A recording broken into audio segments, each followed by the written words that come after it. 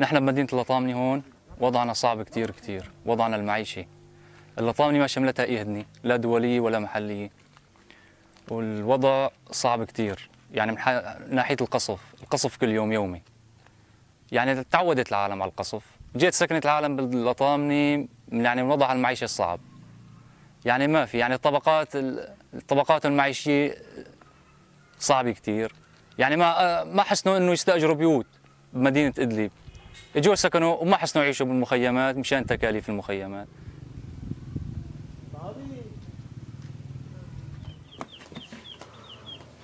طلع على عيشتنا وطلع على المغرب قاعدين فيها. وكل الليل القصف الصواريخ ما هدي علينا ولا أثر. لا هدني شملتنا لا شيء شملنا. أكل ما فيه شرب ما فيه البنى التحتيه انهدت الدور انهدت عايشين بهالمغر هاي. بدنا طبخة طبخة ناكو بدنا نحتاج نروح على خان شيخون لنجيب الطبخة.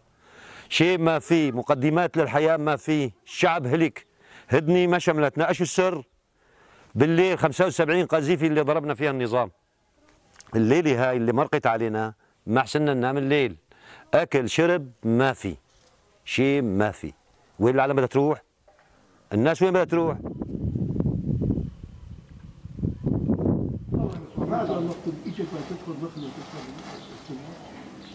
لا.